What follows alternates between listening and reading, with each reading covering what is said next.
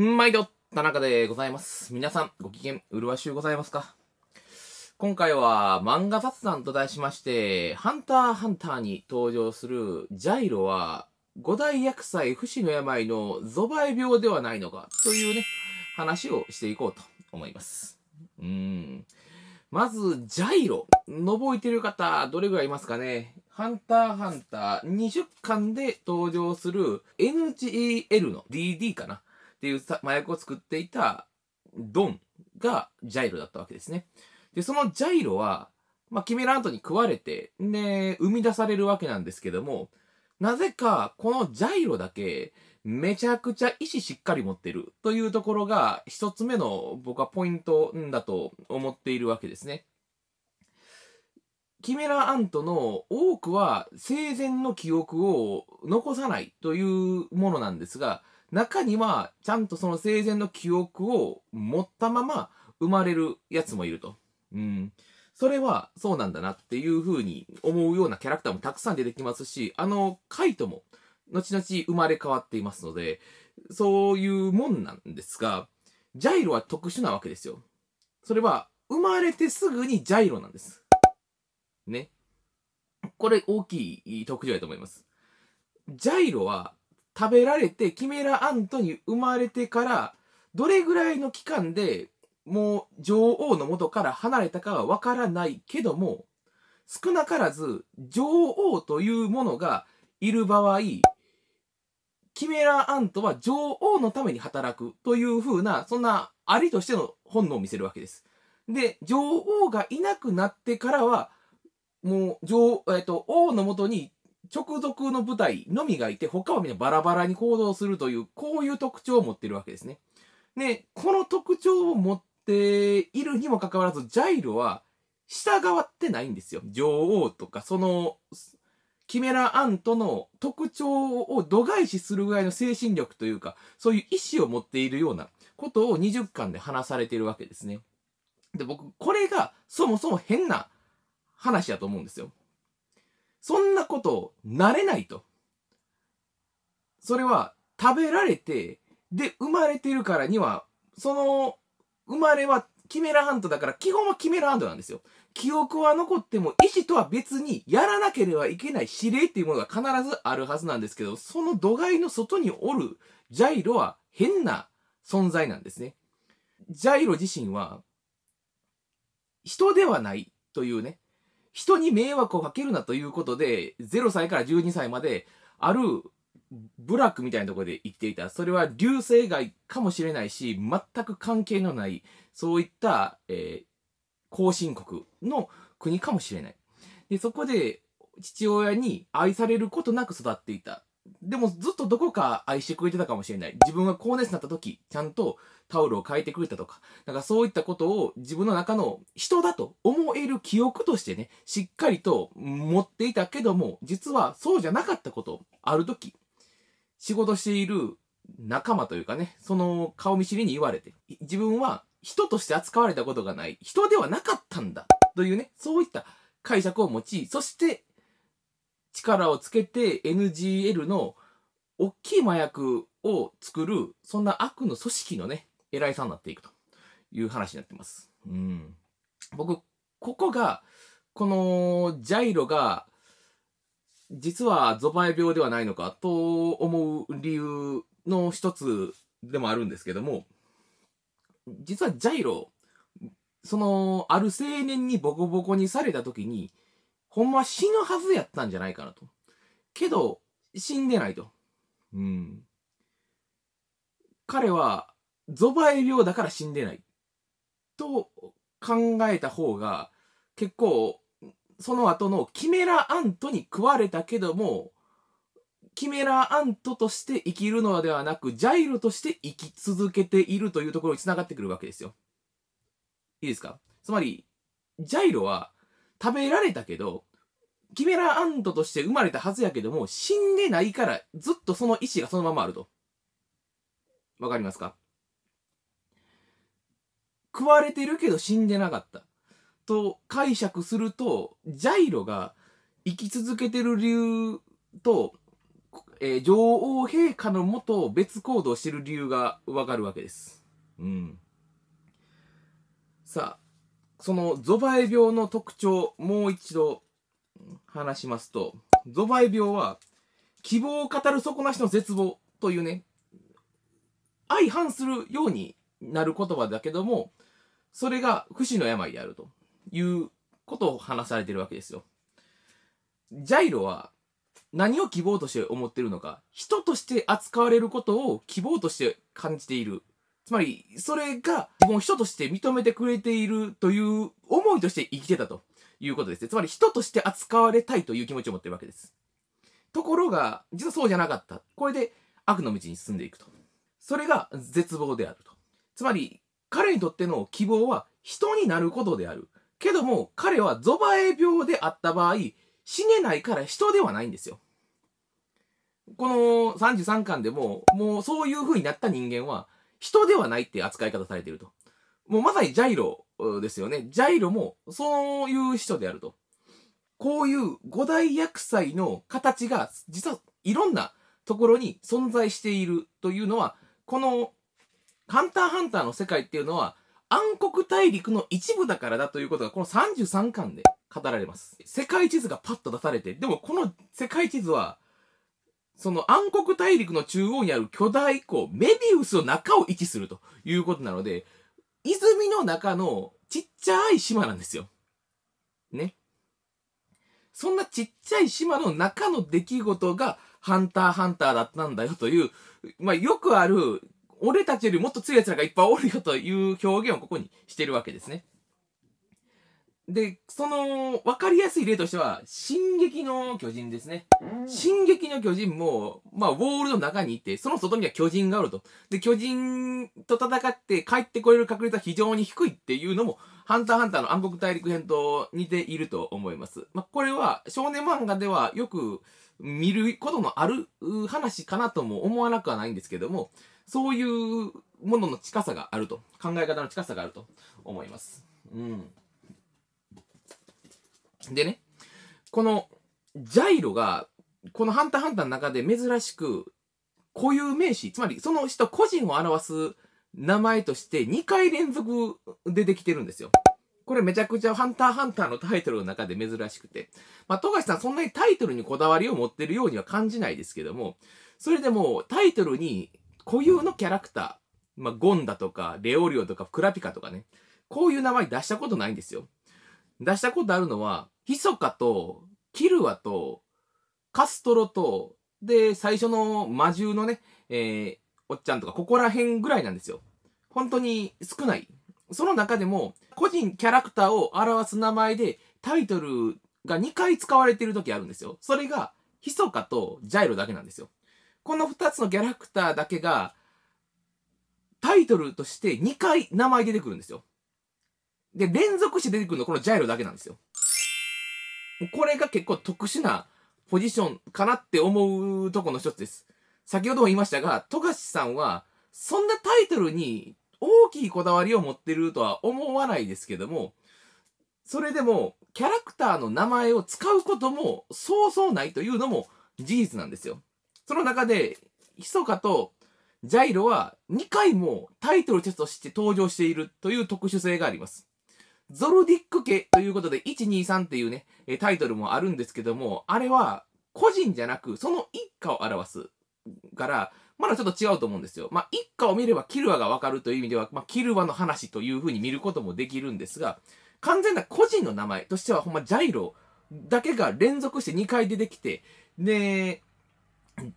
登場した回数というか、ページ数だけで言ったら、10ページしかないっていう、すごい特殊なキャラクターなんですよ。10ページしかないのにタイトル2回連続続けるって変でしょ？つまり、よく最初に言われたんですけど、これがラスボスかなんて言われてましたけども、少なからずこの五大薬剤の不死の病、ゾバイ病である可能性は高いなと、僕は感じる次第ですね。はい。で、ここら辺ね、やっぱ前振りがしっかりと効いてくるように描き始めてるから余計にジャイロ出てくんかなって勝手に思ってるんですよ。つまり、ブラックホエール号の中にジャイロおるんちゃうかなと。勝手に思ってます。まだ出てきてへんだけでね。それは、ハンターハンターの19巻ですね。ちょうどキメラアント編が17、8巻ぐらいが始まっていって、この19巻で、もう一回ね、念能力の説明するんですよ。ポックルがネフェちゃんにバーっとね、頭クチュクチュされて、念能力説明するシーンあるじゃないですか。で、その結果、その、キメラアントがいかに強いのかという、このキメラアント編の方向性をしっかり見せるわけですよ。グリードアイランド編が MMO の世界とするならば、そうじゃなくバトル漫画としての世界だよということを念能力のそもそもの身体能力の高さプラスアルファで見せていくんだよっていうことをもう一回説明する。そして女王がいたらこういう風な、えーシステムに。でも王がいたら全くバラバラになるというような進化も遂げているんですよという過程をちゃんと見せるわけですね。それがこの世界である。この、えー NGL の、えーキメラアントの生態であるっていうね、説明をこの19巻でします。もう19巻になるんですね。で、そんな説明した後にジャイロの全く別行動っていう不思議な話が出てくるので、ね、やっぱそこの印象もありますし、で、この33巻もまた、一からの説明。この世界とはどんな世界なのか。そして五大薬剤っていうのは実はこの世界の中では普通にあって当たり前だけども、そんな泉の中のちっちゃい世界から見たらめちゃくちゃでかい話に見えると。ね。そういう、そういうことになってるんですよ。で、周りの、その、暗黒大陸はめちゃくちゃでかいやつばっかりっていうところもやっぱ進撃の巨人っぽいなと思いました。進撃の巨人もその世界の外めちゃくちゃでかいっていうね。そういう話ですから。なんかね、いいですよね。そういうことなんですねって僕は勝手に思ってニヤニヤしますね。で、この五大薬剤という部分で不思議なのは、ちゃんと名前の前にどういうものなのかっていう説明があるわけですね。例えば、欲望の共依存、ガス生命体愛っていうのは、欲望が共依存していると。つまり自分のしたいこと、叶えたい夢っていうものが二つとも揃っているというのが、この、えー、五大薬剤の一人であると。で、これが、先ほど言ったキルワの弟に当たるというのは、まあ見ればわかるけども、そもそものこの前振りの言葉を聞くと、あ、少年漫画やって僕思うんですよ。少年漫画はまた欲望の共依存であると思うわけですね。自分が何かになりたいものに対しての欲望、そしてそれを叶えるという欲望、それらの共依存が、その作品を指し示したりしてるわけですよ。うん。で、次に、快楽と命の等価交換。人を飼いの獣パブですね。これが、まあ、ゴンさんを指し示すっていうのを僕はある YouTube のハンター動画で知って、へえーとか思いながら、確かにあり得るなと思ったわけですね。まあ、このパブというキャラクターの絵を見ていると、なんかずっと頭にね、紐ついてて。で、ゴンさんもスーパーサイヤ人みたいに髪の毛逆立ってたけども、あれはこのパブと同じように紐のようになっていて、暗黒大陸と繋がってどうのこうのちゃうのかっていう話なわけですけども、この快楽と命の等価交換っていうところが、ゴンがゴンさんになったという理由にもなってるし、これまた少年漫画やなと思います。つまり、命をとしてパワーアップ、スーパーサイヤ人ですよね。クリリンが死んだから怒って、スーパーサイヤ人になったと。これが主人公だということですね。うん。何かを振り切る。つまり優しかった悟空を捨てるっていうことをしたからスーパーサイヤ人になれた。っていう理由です。で、後々ベジータとかプライドのどうのこうのってなってくるので、その話はまたブレてくるんですけども、一番最初の入り口としてはそういうことであると。いうことです。つまり、これまた少年漫画を表す力であり、それがまさにゴンからゴンさんにパワーアップしたという姿にあり、で、そこまでしたからには、当然、その、代償としてボロボロになる。けど、それは、欲望の共依存ですね。もう、キルワがそもそも依存度高いキャラクターやから、それが、愛か何かと一緒におることに僕は違和感ないんですよ。だから彼はどんな願い事でも叶えることができるドラゴンボールを常に持ち続けている存在でもあるわけですね。自分がドラゴンボールじゃないと。自分がドラゴンボールで願い事を叶える存在であると。けどその叶えるキルア自体はすごい淡い存在。何とも言えない存在ですね。うん。ゴンがいなくなったら自分も消えてしまうような、そんなところを持っている。つまり、共依存を持つ人物もまた共依存であるということですね。はい。で、それすらよくわからず快楽、力を求めてしまうっていうのはやっぱゴンらしいと思うので、ここら辺はなんかすごく納得いきます。で、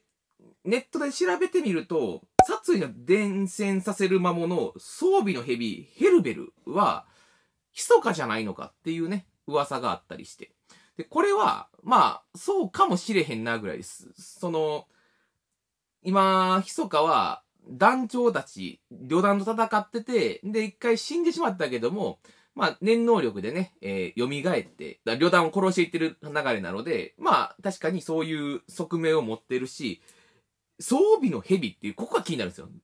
尻尾二つあると。で、ひそかも二面性がある気がするから、それを二つの尻尾として見てるのか、ちょっと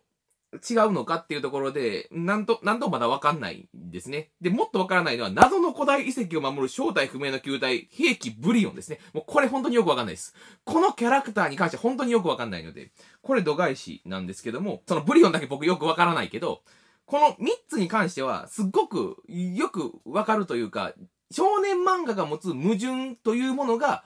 この五大薬剤に詰まっていると。それが希望を語る、えーえー底なしの絶望、不死の病、ゾバイ病でもあると。うん。つまり、うん、宝探しに行って骨なるみたいなね。あーそういうところになるんですが、でも不死の病だから人間になれない、いもどかしさを持ったジャイロという風な僕は想像するわけですよ。ね。で、この想像をした段、この想像の先にあるのは、まあ、ゴンにしても誰にしても、ジャイロと対決し、ジャイロを止めるにあたって、倒すしかなくなると思うんですよ。ジャイロを止める、倒すっていうことが、つまりジャイロを救うこと、それは人間になることを表すわけですね。僕の予想するジャイロは、不死の病、ゾバエ病に侵されているので、死ねないと、つまり人になれない存在。で、それはキメラアントに食べられた結果、より一層そうなってしまったと。勝手な予想をしているわけですね。で、その予想の先の考えとして、その彼が救われる人になるためには死ななければいけないけど、死ぬためにはどうすればいいのかっていうところが重要になってくるわけですよ。で、それは何かやあるかの、えーその、要は、キルワによっての願いで潰すこともできなくないけども、多分、ゴンが倒すはずなんですよ、ジャイロを。僕が勝手に想像してるのはね。で、それはなぜかというと、一番の主人公はやっぱゴンなんですよ。この、ハンターハンターのタイトルの中でね、ゴンフリークって一回も出てきない。ジンフリークは出てきたことあるけど。だゴンフリークという、その化け物である、というのは化け物対義するゴンという話になってくると思うんですよ。で、その化け物対義するゴンっていうのは、つまりは、人の願いを叶える化け物になるわけです。その人の願いを、ただただその強力な力、先ほど言ったこのゴンさんあったらパブじゃないのかって話ありましたけども、そういう気持ちを持ってるやつがなぜ救えるのかという矛盾と、死にたいけど死ねない、そんなゾバエ病だろう、ジャイロをどうやって倒すのかっていう、ここら辺が描かれるんじゃないかと僕は楽しみにしてるんですけど、どうですか？もう、まあ、僕そんな感じで、ジャイロイコールゾバエ病であるという認識を持っているというところですね。ほんとね、タイトルで名前、固有の名前、その人を表す名前ってなかなかつかないんですよ。ハンターハンターってタイトルこだわってないけどね。それでもそういうことしないっていうところに、ちょっとしたこだわりがあると思ってて。ジャイロは2回連続名前使われてるので、やっぱ特殊なキャラクターやし、また出てくると思ってるし、暗黒大陸のあのホエール号の中におると。で、要は、その麻薬を作ってたから、それに似たようなものをね、暗黒大陸取りに行こうとしてんちゃうかなと思ってるんですけど。まあこれはもう完全に想像です。うん。で、その想像だけども、直感とかいろいろ合わせても僕はそんな気がしてるので、